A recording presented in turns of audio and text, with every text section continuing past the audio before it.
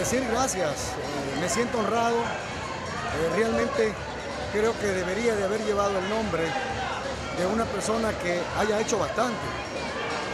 Este servidor no ha hecho casi nada porque realmente ante tantas necesidades lo poco que hacemos se ve como que parece que no fuera nada. Pero estamos trabajando.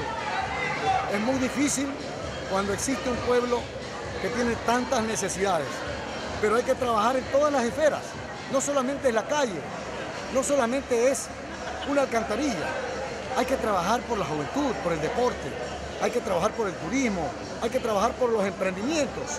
Hoy día hemos hecho eso, hemos unido los emprendimientos, aquí están la demostración de un rico ceviche, con un emprendimiento de Machelilla. A las señoras nuestro agradecimiento. 15 mujeres que están unidas en un emprendimiento. Y también hemos demostrado la juventud combinada con la gente que ya tiene un poco más de experiencia. En todo caso, ha sido arduo, ha habido muchos errores, sí. Y pueden seguir habiendo muchos errores. Pero lo más importante es que aquellos que cometemos errores somos aquellos que damos pie para trabajar. Los que no cometerán nunca errores, ¿saben cuáles son? Aquellos que nunca hacen nada, porque no van a sentir en carne propia lo que es rebalarse. Pero lo más importante es levantarse.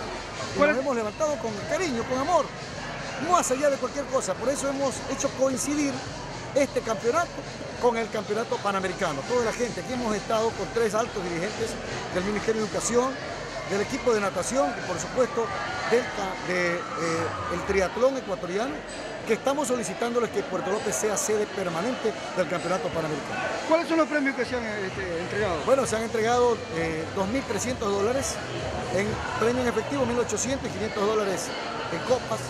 Eh, todo esto lo hacemos exclusivamente para entusiasmar a la gente, para que eh, también exista la dinámica de poder pelear un lugar, eh, de también. Y por supuesto, agradecer a Walter Asensio y a todos los compañeros dirigentes, todos aquellos que se embarcaron y que estuvieron allí presentes, a todos los equipos que participaron, decirles que esta es una pequeña muestra de lo que podemos hacer. Vamos adelante, vamos también, ya lo hice en el 2007, cuando sin ser nada, simplemente un simple periodista, también apoyé al equipo para tratar de llegar a la serie del fútbol profesional. No lo logramos, pero hicimos candela. Hay que seguir haciendo candela. Puerto López tiene que sonar afuera, más que adentro. ¿Por qué? Porque adentro arreglamos las cosas. Afuera tenemos que ir a pelear para que la gente venga. Y eso es lo que estamos haciendo. El deporte es salud, un mensaje para los chicos que siguen adelante. No existe edad para hacer deporte. A mis 47 años practico el ciclismo, recorro el Ecuador, promociono mi pueblo en bicicleta y lo hago con todo el amor. El deporte es salud, el deporte es fuerza, el deporte es dinamismo.